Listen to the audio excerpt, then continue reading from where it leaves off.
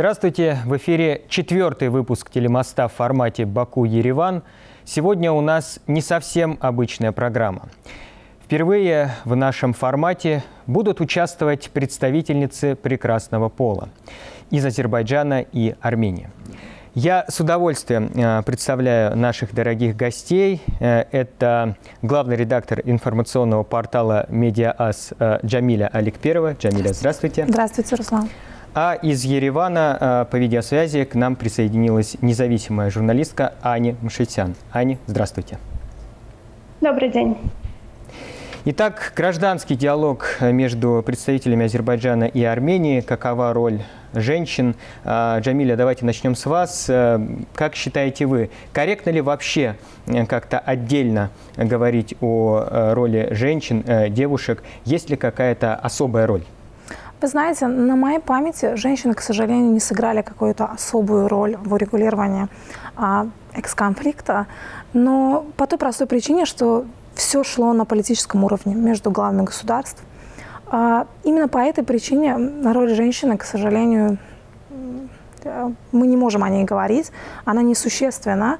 Но на моей памяти были какие-то попытки, кейсы на уровне МПО, там участвовали журналисты, там участвовали общественные деятели, но опять-таки каких-то особых результатов мы от этого не видели. Если из последних событий я могу вспомнить э, Деляру Эфентьеву, это азербайджанская правозащитница, она была активным участником экоакции на участке дороги Шуша-Ханкянди. Она также один из э, активистов э, гражданской платформы мира между Азербайджаном и Арменией. И она пыталась как-то внести свою лепту в этот вопрос. Она обращалась к нашим гражданам армянской национальности, которые сейчас проживают в Ханкянди, и предлагала свою гуманитарную помощь, а, оставляла свой номер и просила, чтобы к ней обращались. Но а, если мне не изменяет память, если говорить а, ее цитаты, то к ней в основном звонили представители армянской диаспоры из-за рубежа, и, к сожалению, никакого общего контакта не было. Было пара звонков из Ханкянди и из Еревана, по ее словам. А, которые говорили, что очень устали от войны и хотят мира, хотят диалога. А, вот только на этом уровне, и это пока все на моей памяти. К сожалению, пока на политическом уровне этот вопрос не решен. Гражданская инициатива остается То есть говорить пока о какой-то особой роли женщин не приходится? Я думаю, что можно было бы начать ее, если бы с, со, с армянской стороны был бы какой-то ответ. Вот, например, на Делярхам предложение или на уровне другого, или наоборот, с их стороны предложение к нашим женщинам-правозащитникам. Я думаю, что можно было бы начать этот диалог строить. Вот как раз мы сейчас э, послушаем Ани. Э, тот же вопрос к вам. Э, думаю, что вам есть что сказать на этот счет. Э, как считаете вы, есть ли особая роль у женщин, э, девушек в урегулировании этого сложнейшего конфликта? Я считаю, что, конечно, особая роль у женщин и девушек в этом вопросе есть. Я, пожалуй, соглашусь э, с Чамилей о том, что женщины, наверное, не сыграли особой роли в этом конфликте, в этом урегулировании. Но я хочу сказать, что супруга премьер-министра Армении э, Анна Хакопян несколько раз говорила о том, что нужно установить мир между двумя государствами. Она также предлагала э, общение, она предлагала супруги э, президента Азербайджана Ильхама Алиева начать вместе какие-нибудь инициативы, попробовать вести диалог, попробовать договориться. Но и на ее предложение я не услышала какого-то определенного ответа, и, как правило, все ее предложения, все ее э, инициативы были отвергнуты, скажем так.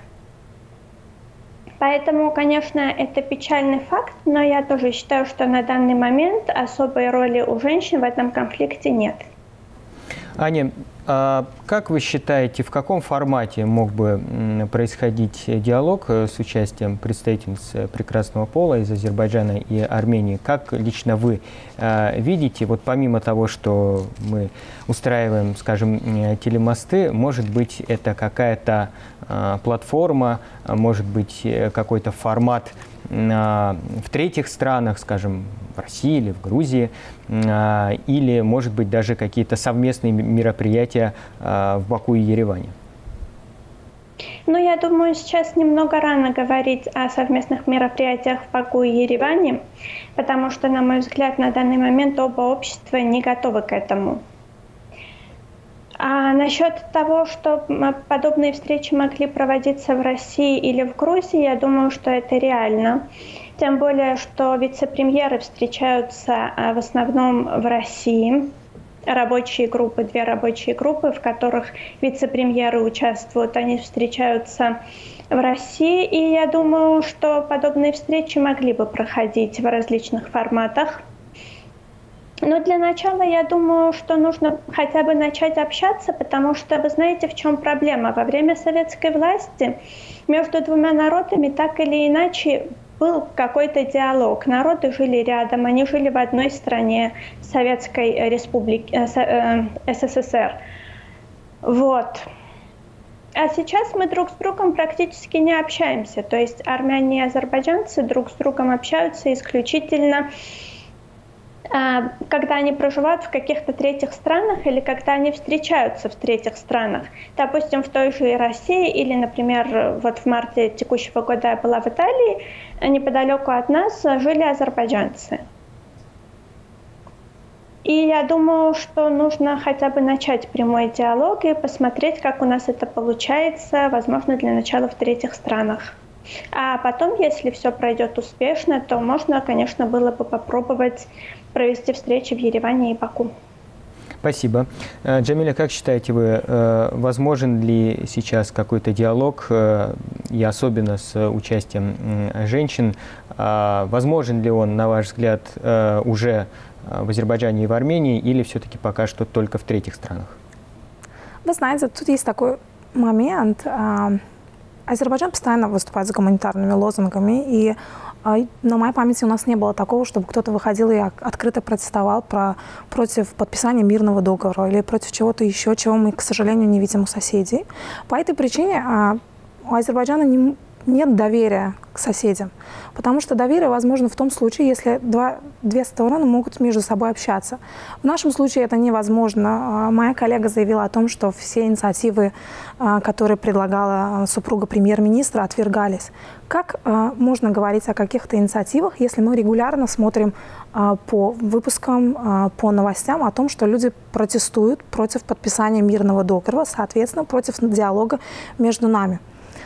Как можно в этом контексте доверять? Поэтому для, без посредников мы можем, конечно же, общаться. И, как сказала моя коллега, я с ней согласна, в третьих странах мы действительно общаемся. Это в рамках каких-то общественных мероприятий, в рамках каких-то круглых столов. Это было и в России, и действительно за рубежом. И это можно, мне кажется, это можно сделать и здесь. Но для этого необходимо решить вопросы на политическом уровне. Речь о подписании мирного договора, речь о подписании документа о демаркации и делимитации государственной границы. Когда этот момент будет урегулирован, в этом случае люди а, начнут говорить, потому что Азербайджан будет четко уверен, что вот а, соседская страна признала территориальную целостность нашей республики, и тем самым мы можем спокойно начать налаживать диалог. Это может быть не только в третьих странах, повторюсь, это может быть и в Баку, и в Ереване. Главное, чтобы люди были готовы между собой говорить. Как мне кажется, наша страна никогда не была замечена в том, что мы прямо открыто и негативно отвергали этот диалог. А на ваш взгляд, все-таки азербайджанское общество готово к тому, чтобы этот диалог сейчас проходил? Вот э, если а, брать простых Безусловно, граждан. сказать, что мы полностью готовы, а, за весь народ мне сложно, но я думаю, что постепенно, конечно, без каких-либо там а, недочетов не, не будет, но постепенно, общаясь друг с другом, а, мы научимся доверять. И тем самым, конечно же, диалог будет построен. То есть я правильно понимаю, что пока основная проблема кроется в том, что в общем и целом э, вот азербайджанское и армянское общество в чистом виде пока не готовы к тому, чтобы вот, разговаривать напрямую друг с другом, да, ездить друг к другу в гости, да, и осуществлять какие-то форматы. Ездить друг к другу в гости пока рано, я так думаю, но начать пытаться говорить вполне можно. Главное, чтобы было желание с обоих сторон. Спасибо. А, Аня, думаю, вам тоже есть э, что сказать на этот счет. Э, э, задам еще вопрос. А, вот какие-то совместные проекты да, между представителями гражданского общества Азербайджана и Армении, а, может быть, между журналистами, на ваш взгляд, они реальны и что на мой взгляд, очень важно, а, без э, участия третьих стран, да, вот реализовать какую-то а, платформу, э, реализовать э, какой-то гуманитарный проект, да, направленный на сближение, скажем, журналистов. Как считаете вы? Вы знаете, я, пожалуй, соглашусь с Чамилей о том, что между сторонами отсутствует доверие, только я хотела бы уточнить. Дело в том, что э, у нас не протестуют против мирного договора как такового. У нас протестуют против того, чтобы мирный договор был подписан исключительно на условиях Азербайджана. И более того, я могу привести один небольшой случай, э, который произошел буквально пару недель назад относительно того, насколько народы готовы на самом деле к сближению. Какой-то азербайджанский телеграм-канал, я сейчас не вспомню точно, то ли Хакинас, то ли Девичья башня, опубликовали фотографию одного азербайджанца, который надел футболку Генриха Махитаряна. И сказал, что не считает э, Генрих Махитарян известный армянский футболист. Э, и он сказал, что не считает армян своими врагами, и вот против него сразу поднялась такая волна. Во-первых, само издание его довольно сильно ругало, и, кроме того, многие пользователи соцсетей тоже писали, что как не стыдно, как можно так себя вести и так далее. То есть я не считаю, что азербайджанское общество, в принципе, готово к какому-то диалогу, если на то, что человек просто одел футболку армянского футболиста, поднимается такая волна негатива. Я считаю, что журналисты могут попытаться начать общаться, депутаты так или иначе, спикеры парламентов общаются, опять-таки, в третьих странах. Но мне кажется, что для того, чтобы начался какой-то продуктивный диалог и для того, чтобы в нем был спрос, то есть чтобы это интересовало других людей, чтобы люди действительно этого хотели, нужно, чтобы между странами было укреплено доверие чего я сейчас не вижу. Если позволите Пожалуйста, одну ремарку а, о том примере, о котором вы говорите. Возможно, это в, армянском обще... в армянской общественности это был какой-то а, какая-то информация или событие дня. Если честно, для азербайджанской общественности э, эта информация и этот негатив, о котором вы говорите, он сошел на нет. Вот я лично особо не помню, чтобы кто-то мне говорил, что был такой случай, я от вас это слышу. И вы знаете, если мы уже будем приводить в пример а, ситуации в телеграм-каналах, то я могу вам привести и после эфира отправить столько а, новостей, которые проходят в а, армянском телеграм-канале за любого армянского блогера, который говорит о том, что необходимо подписывать мир и так далее. То есть, если уж мы будем приводить эти примеры, то их можно столько же представить я вам могу. Этого будет очень много. И, и то, как э, любой человек, который выступает за то, что э, давайте э, признаем Карабах азербайджанским, давайте подпишем мирный договор, давайте жить в мире. И тот негатив, который на него льется в, в комментариях в телеграм-канале, это сплошь и рядом. Вы, наверное, сами это видите. И я думаю, что это не, нельзя считать каким-то примером того, что азербайджанцы поднимают негатив за какую-то футболку. Вот для Но нас это не была тема дня. Как вы считаете, в азербайджанском обществе готовы к тому, чтобы, э, скажем, даже просто вот э, высказывать какие-то комплименты в адрес э, армянских, условно, спортсменов, да, да, музыкантов. Конечно, почему нет? Давайте вспомним Европейские игры 2015 года, еще до того, как Азербайджан восстановил территориальную целостность вы же видели эти эфиры, эти нарезки, они сплошь и рядом. Мы сами присутствовали на ну, этом. Ну, там Это, все-таки а... были специфические условия, там спортсмены были и под охраной, и там все было очень строго организовано, так В скажем. любом случае, никакого негатива не было. Вы же сами это видели. Мы, сюда приезжают правозащитники армянской национальности. Они спокойно проходят по городу. Они проходили мимо армянской церкви, которая стоит в центре города спокойно, не было никого, никто не пытался на них напасть, никто не пытался их оскорбить, а, никто не бросался камнями или чем-то другим. То есть мы вполне в этом плане очень э, спокойно относимся, мы готовы общаться. Мы просто хотим, чтобы это было взаимно. Э, ведь регулярно с момента с 2020 года после 44-дневной войны мы регулярно выступаем с какими-то гуманитарными лозунгами, призываем развивать Карабах, делаем это, демонстрируем это, но говорим, давайте подпишем, давайте вместе будем развивать, давайте будем общаться, но а, этого нету. Да, возможно, на уровне а, необходимо подкреплять это все доверием, но опять-таки мое личное мнение, пока на политическом уровне этот момент не будет решен, как я уже говорила, подписанием а, мирного договора, договора то а, общественные и гражданские инициативы, они не будут столь эффективными. Но это лично мое мнение. Спасибо. Я вижу, что, Аня, есть э, что ответить. И как раз хотел вас э, спросить, э, на ваш взгляд, до подписания мирного соглашения между Баку и Ереваном, а, возможно ли реализовать какие-то инициативы. Есть э, такое мнение, что а, подлинный э, мирный договор – это а, как раз-таки гражданский э, диалог, это общение между простыми людьми, представителями различных профессиональных сообществ, или все-таки пока не будет подписан документ, ни о каком диалоге речи быть не может, на ваш взгляд? Да, я что хотела уточнить. Я общалась с бывшим депутатом э, Национального собрания Армении Теваном Погосяном примерно год назад по поводу их поездки в Баку. Я хотела узнать, э, в каких условиях проходила эта поездка. И он тоже рассказал довольно много интересного. В частности, он сказал, что во-первых, был очень жесткий контроль за ними, и они всего один раз имели возможность выехать в город, посмотреть город, а потом сказал, что у нас было желание посетить церковь.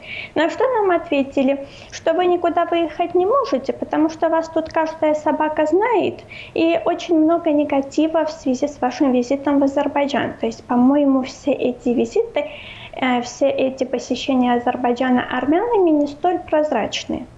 Кроме того, азербайджанцы тоже приезжали в Армению, например, э, депутаты.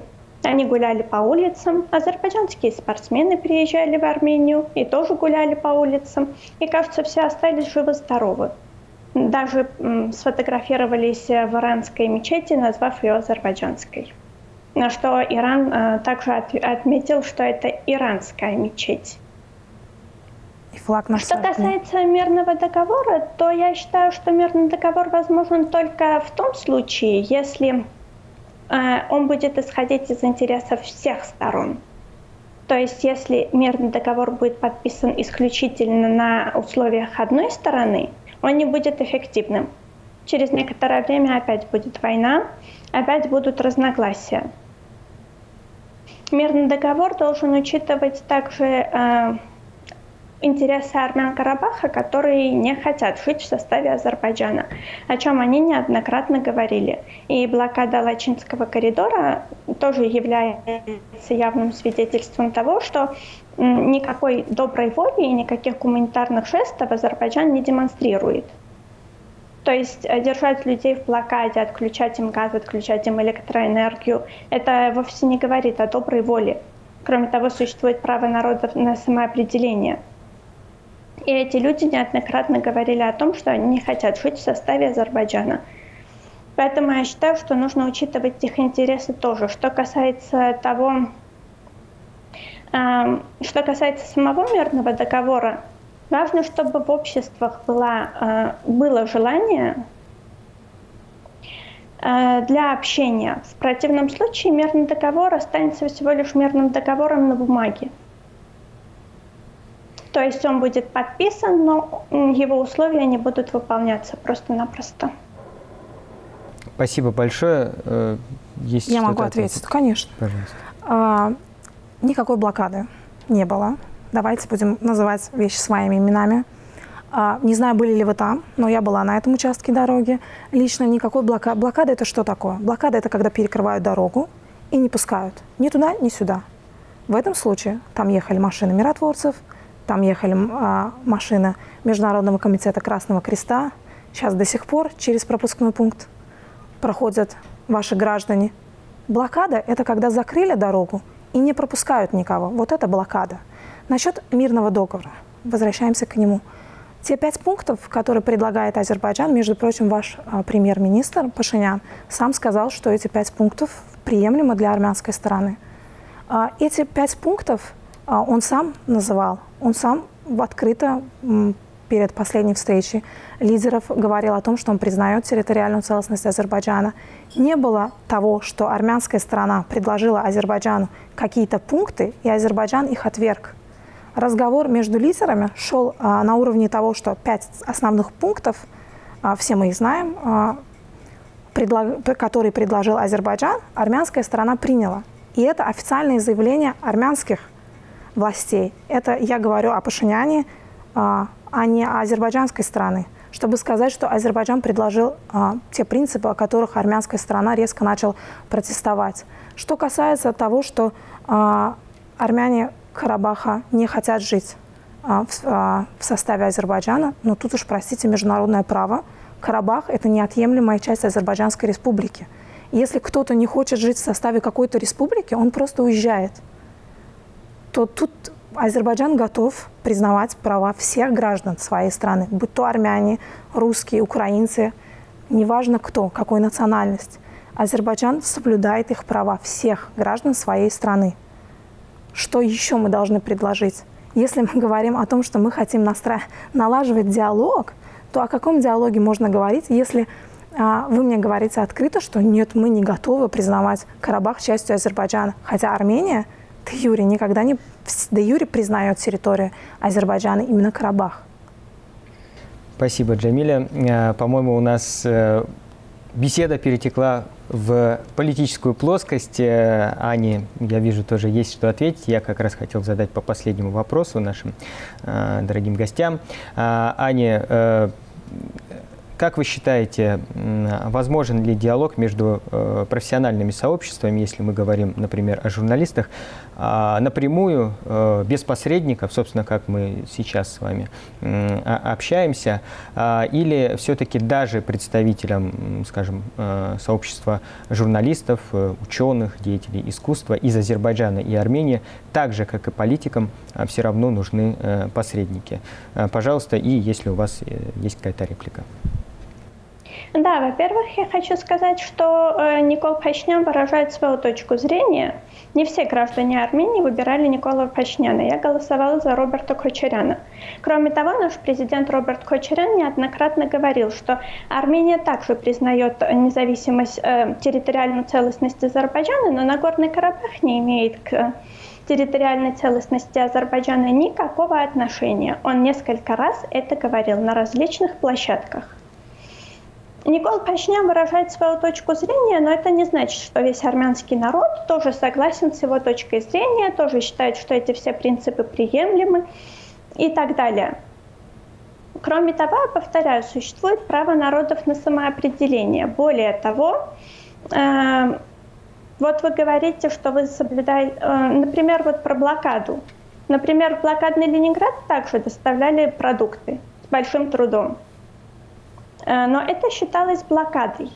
Когда у людей нет практически никакой возможности, кроме э, как с помощью миротворцев или через Красный Крест выехать, это тоже, возможно, частичная, но блокада. О чем говорим не только мы, об этом говорили и министр иностранных дел России, и пресс-секретарь БИДа Мария Захарова, и многие международные организации об этом тоже отмечали, многие международные лидеры – есть решение Международного суда ООН относительно того, что Азербайджан должен разблокировать Лачинский коридор. Однако никаких действий не, подействовало, э, не последовало от Азербайджана. Более того, я считаю, что блокада это бесчеловечно. То есть э, люди, которые живут в Карабахе, они должны считать, что Азербайджан просто заблокировал дорогу для того, чтобы им было, э, им жилось хорошо. Туда продукты не поступают практически. У людей есть талоны на фрукты, они не могут эти фрукты купить, потому что фруктов нет. Это единственная дорога, дорога жизни, которая связывает Армению и, Азербай... Э, Армению и Карабах. Поэтому я считаю, что это несколько бесчеловечно. Женщина во время этой эко-акции, вот я не знаю, я считаю, что экологи должны любить и животных, и э, окружающую среду. Но когда женщина душит голубя, и когда женщины в норковых шубах сидят и э, говорят о какой-то эко-акции, то это даже выглядит как-то смешно. А, что касается... Посредников. А, посредников, да. Я считаю, что сегодня у нас, в принципе, получился скорее даже не диалог, а два монолога. То есть мы, в принципе, друг с другом практически ни в одном пункте полностью не были согласны. Поэтому я думаю, что посредники на данном этапе нужны. Может быть, в будущем сложится такая ситуация, когда мы сможем общаться без посредников, но на данный момент это маловероятно. Более того, я вам скажу такую вещь. Мой дедушка был бакинский армянин, у него были друзья азербайджанцы. Но он покинул а, Азербайджан, он покинул Баку, он очень тосковал в последние годы жизни, что он не может элементарно посетить кладбище своих родителей. Так что какие-то отношения, в принципе, возможны. Более того, в третьих странах я знаю случаи, когда азербайджанцы и армяне общаются друг с другом, э, развивают совместный бизнес, когда есть э, общение, семьи дружат. Даже в советское время бывали семьи армяно-азербайджанские. Но на данный момент действительно разлом между нами очень велик. И очень сложно вести диалог. Спасибо большое, Аня. А, Джамиля, тот же вопрос к вам по поводу если посредников, можно, да, и если вам отвечу, есть что да, конечно. ответить. Да. А, вы говорите о блокаде Ленинграда. Это Вторая мировая война. Это военное время. Мы сейчас говорим о мирном времени. Мы живем не в военное время сейчас. Война закончилась. Это первый момент, который я хотела ответить. Вы говорите о птичке, которая, к сожалению, погибла. Почему мы не вспомним людей, которые погибали там? Вы говорите а, сейчас, а, точнее, вы пытаетесь сделать кого-то виноватым. Здесь вопрос, а, вы говорите, вы голосовали за Кочеряна. Это, к сожалению, что для вас, что выбрали Пашиняна, но это представитель вашей страны. И он отвечает на различных международных площадках за вашу страну. Соответственно, он принимает решения за вашу страну. И мы основываемся на заявлениях властей вашей страны. А власть вашей страны в лице Пашиняна выступает. Соответственно, говорить о том, что вы выбирали Кочеряна, ну, простите, тут уж как проголосовали у вас, так и выбрали. Это второй момент. И третий момент э, касательно, опять-таки, того, что вы сами себе только что противоречили, говорите, что мы без посредников не можем общаться, а потом говорите, что есть семьи, а там ваш дедушка, который скучал, дедушка обращался, чтобы приехать сюда. А почему не вспомнить, а, как, как азербайджанцы скучают по тем временам, когда они жили? Они жили в Армении, у них были там тоже дома, кто-то тоже вернулся, у кого-то там остался дом, кто-то не, до сих пор, кто-то умер, не увидев свой дом, кто-то до сих пор не вернулся в эти дома. Когда мы говорим об одной стране, надо автоматически думать о другой. Но в этом контексте обязательно нужно говорить о международном праве. Есть международное право, и вы говорите о каких-то документах, заявлении, а, заявлении Лаврова, о заявлениях Марии Захаровой. Не было таких заявлений, где она называла это блокадой. Есть международные документы. Мы можем также вспомнить четыре резолюции Совета Безопасности ООН, принятые в 1993 году, если уж мы говорим. Есть международное право и есть желание двух сторон. Вот о чем надо говорить. Мы можем хотеть абсолютно все, что угодно, но есть международное право, в рамках которого мы можем а, обсуждать те или иные вопросы касательно территориальной целостности. А, и опять-таки мы ушли в политическое русло, а, возвращаясь а, к вопросу Руслана о том, можем ли мы общаться без посредников. Конечно, можем. Мы же в рамках круглых столов общаемся друг с другом, общаемся. Мы можем обсуждать какие-то моменты, как двусторонние, так и события каких-то других стран.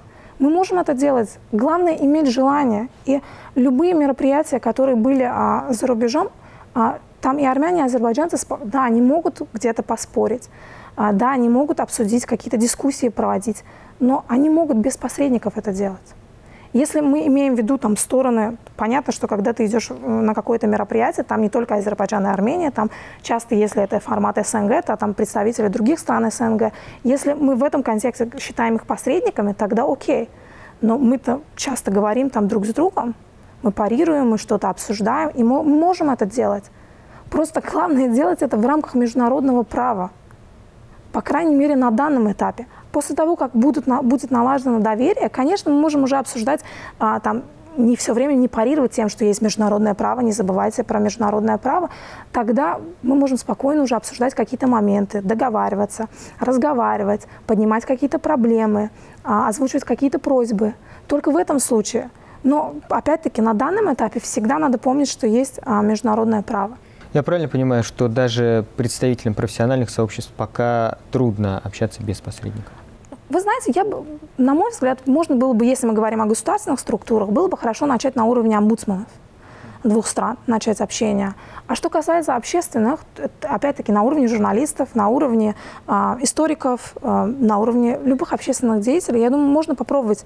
Просто главное, чтобы была какая-то платформа, было что обсуждать, там, а, поднять какие-то вопросы, договориться, там, собраться, допустим, пять человек от армянской стороны, пять человек от азербайджанской, там, мы будем там раз а, в неделю собираться там в онлайн-формате, или там в, в третьей стране, или наоборот друг у друга, но это, наверное, чуть попозже, уже на следующем этапе. Но, по крайней мере, можно начать. Я думаю, что это возможно. Главное просто захотеть. Спасибо большое. Подходя уже к завершению нашей программы, я хотел бы обратиться к э, каждой из наших дорогих гостей. Э, Аня, э, хочу попросить вас, если вам есть что сказать, с какими словами вы бы обратились сегодня к жителям Азербайджана? Ну, на самом деле, я также хотела бы отметить, что омбудсмен Армении Арман Татуян неоднократно говорил, что он согласен встретиться с омбудсменом Азербайджана. Я не знаю, почему эта встреча не произошла. Вероятно, представительница Азербайджана не захотела э, беседовать с Арманом Татояном. Что касается того, с какими словами можно было бы обратиться, на самом деле я считаю, что очень важно, э, чтобы был э, между народами мир. Но при этом нужно учитывать, что в любом конфликте всегда есть как минимум две стороны. И обязательно, когда заключается какой-то договор, нужно учитывать интересы всех. В противном случае, я уже это говорила, договор остается всего лишь формальностью, условностью, которая записана на бумаге.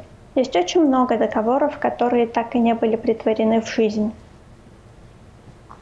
Поэтому я думаю, что можно было бы постепенно начинать э, диалог, постепенно начинать общение, но для этого хотя бы нужно постепенно укреплять доверие. На данном этапе я считаю, что доверия между нами нет, противоречий очень много, но мы можем постепенно стремиться к тому, чтобы попытаться хотя бы узнать друг друга.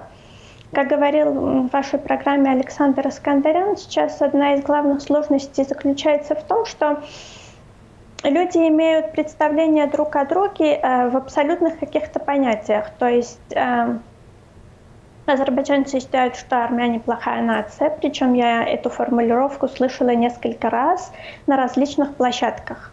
Э, и в соцсетях тоже, кстати, очень часто азербайджанцы пишут, вот вы знаете, армяне плохая нация.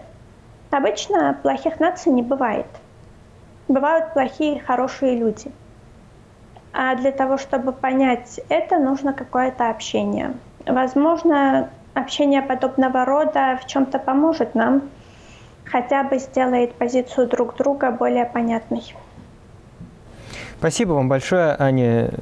Джамиля, с той же просьбой хочу обратиться к вам. Что бы вы сказали сегодня жителям Армении? Один момент отвечу по поводу омбудсмана. Наш омбудсман, по ее заявлениям официальным, она всегда открыта к этому диалогу. А, по поводу обращения, я бы просто хотела пожелать армянам миру. Я, чтобы они отказались от каких-то нерациональных заявлений и нерационального поведения, отбросили все мифы и просто жили в мире. Не думая о соседях, думая о себе, о своем развитии. Ведь мир, а, он поможет а, им самим открыть какие-то новые, в том числе экономические возможности. Нужно понимать, э, что зло порождает зло. А, самая главная цель сегодня для нас всех – это сохранить устоявшийся мир. Поэтому я им желаю только мира. Спасибо большое. По-моему, сегодня у нас состоялся самый острый э, диалог из всех э, телемостов, которые мы э, проводили. Я в любом случае благодарен нашим прекрасным гостям, главный редактор информационного портала «Медиа Ас» Джамилия Аликперова, а из Еревана к нам присоединялась независимая журналистка Аня Ушитян. И э, в завершении на правах ведущего я хотел бы обратиться к нашим дорогим телезрителям, главным образом э, в Азербайджане и в Армении. Как известно, сегодня Ереван и Баку находятся на пороге подписания мирного соглашения. Мы не знаем, когда именно это произойдет. Мы не знаем, каковы будут параметры этого документа. Но ясно одно. Настоящий подлинный мирный договор между азербайджанцами и армянами э, будет достигнут лишь тогда, когда представители двух народов начнут договариваться друг с другом – а не враждовать. Если мы хотим, чтобы наши женщины плакали только от счастья, а не от горя, договариваться нужно незамедлительно. Вел программу Руслан Сулейманов. Оставайтесь на CBC.